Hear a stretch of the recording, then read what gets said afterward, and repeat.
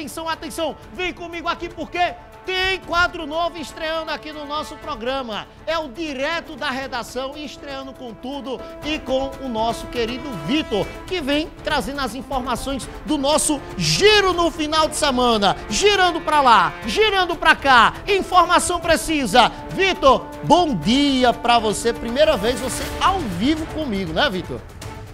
Olá, bom dia a todo mundo que acompanha a gente. Isso mesmo, Otávio, a primeira vez aqui no quadro Na Mira.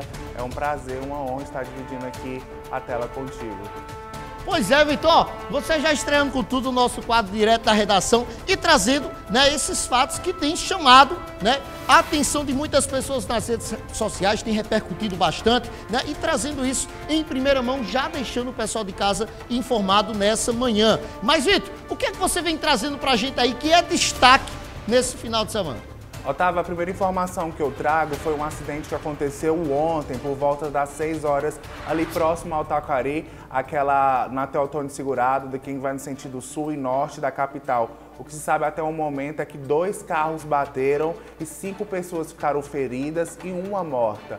O rapaz que morreu era um eletricista de 24 anos, deixou um filho, o filho dele também se machucou, foi encaminhado para o hospital infantil aqui de Palmas e ficou com a perna direita é, levemente, levemente ferida.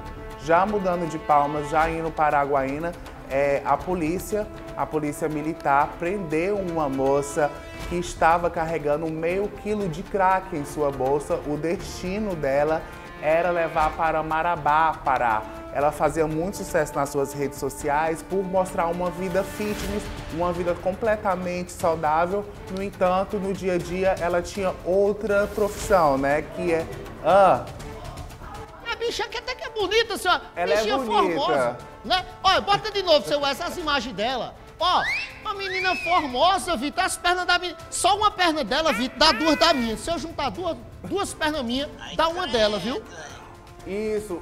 É por isso que ninguém nunca tinha desconfiado dela, justamente por isso, porque ela levava um padrão completamente da, do que diferente daquilo que ela vivenciava no dia a dia, né? E ela é bonita, é, ela blogueira, é? Blogueira? Blogueira, blogueira fitness. Ela mostrava seu dia a dia, mostrava é, receitas fitness, no entanto, gostava de uma vida dupla, né? Parece que ela não tinha só uma vida de internet, mas também ah, gostava do tráfico. Quer, quer dizer, Vitor, que ela, que ela tinha uma vida fitness e Isso. traficava crack, que é o pior que tem. Ei, o crack, ó, a mulher, você vê, quem vê cara não vê o dia a dia, né? Ó, você via, Vitor, ela toda roupa boa, né? As pernas da mulher que dá duas da minha, bonita, elegante, e ela traficando a, a, a, a, droga mais e... safada que existe, que é o crack, viu? E, e ela estava traficando esse crack. E aí, que fim levou? Ela foi traficando, estava saindo de um estado para o outro, e aí, como é que foi? Otávio, ela tinha um destino como, né, é, tinha um destino como parar, por isso acabou prendendo ela nesse percurso lá na rodoviária mesmo, de Araguaína. O que se sabe até o momento é que com ela também foi apreendido um iPhone que provavelmente ela usava para fazer vídeos e stories nas suas redes sociais. E além disso, foi preso também o crack, né, que era um que já tirou de circulação assim, evitando futuros assaltos ou até mesmo morte. Otávio, além dessas informações que eu trago, eu trago informação também aqui do ARN3 sobre um possível homem que tentou assaltar um comércio aqui na capital, lá na região sul da capital. No entanto, ao ele chegar para tentar invadir os supermercados populares, as pessoas que estavam próximas ao local acharam meio estranho o movimento e acabaram eles mesmos fazendo é, justiça com suas próprias mãos. A gente sabe que isso não é um, um jeito, o um jeito certo de se fazer, no entanto, o pessoal agiu pela emoção e não pela razão. É esse, Otávio, esses são alguns dos giros de notícias ô, que aconteceu ô, aqui no final de semana. Mas, ó, eu fiquei sabendo também dessa história, né? O cabo foi lá para roubar, né? Tava armado e o povo não quis saber. Eu fiquei sabendo que se juntou todo mundo que tava lá no estabelecimento e tome peia, peia, peia, peia. Foi cacete, meu amigo. Ó, e ele tava com maconha, viu, Vitor? É maconheirozinho safado, viu? Aí o pessoal se juntou e fez, ei, Aqui maconheiro não se cria não. Vai pra lenha. Não, não se pode fazer justiça com as próprias mãos porque tem arma.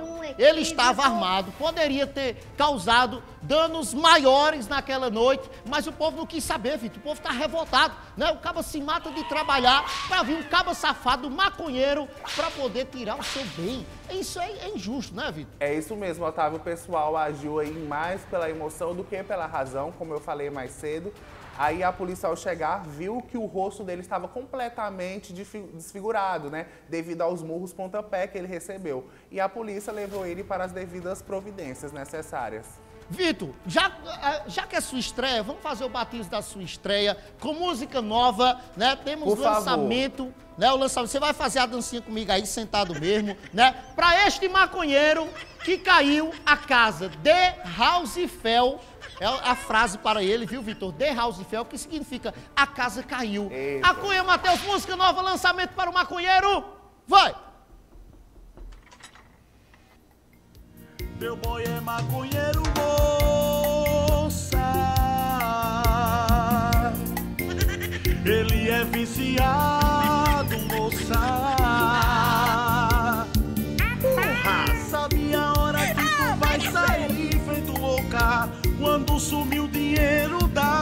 Bolsa. Maconha lá na boca foi busca. Me perdoa, é sem pano. Qual dia da visita? Vai não! Ele não vai não! A casa caiu, Vitor! A casa bom... caiu, Otávio, o homem foi preso. bom dia pra você, bom trabalho, que Deus abençoe. E amanhã eu te espero aqui, direto da redação. Obrigado, Otávio, até mais. É isso aí, direto da redação.